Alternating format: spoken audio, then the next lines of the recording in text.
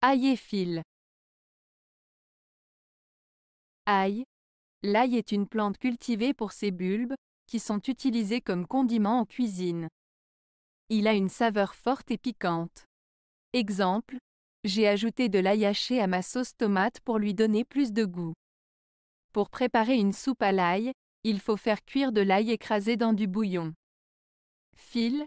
Un fil est un brin mince et souple, généralement fait de fibres textiles, de métal ou de plastique, utilisé pour attacher, coudre ou suspendre des objets. Exemple, j'ai utilisé un fil de pêche pour accrocher ma décoration de Noël au plafond. Pour réparer ma chemise déchirée, j'ai utilisé un fil et une aiguille. Différence La principale différence entre l'ail et le fil est leur nature et leur utilisation. L'ail est une plante comestible utilisée comme condiment en cuisine, tandis que le fil est un matériau utilisé pour attacher, coudre ou suspendre des objets.